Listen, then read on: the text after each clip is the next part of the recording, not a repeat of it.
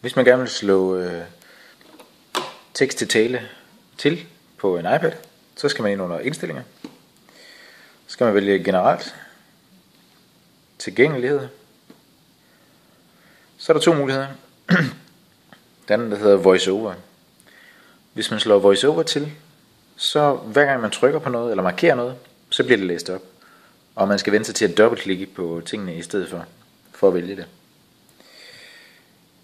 Den anden mulighed, det er læse det valgte op.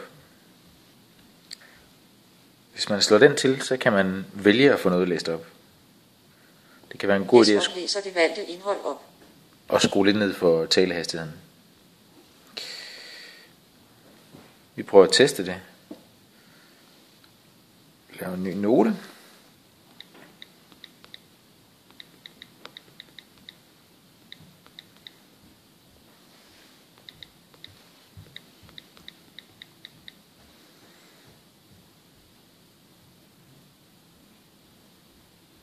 Marker det.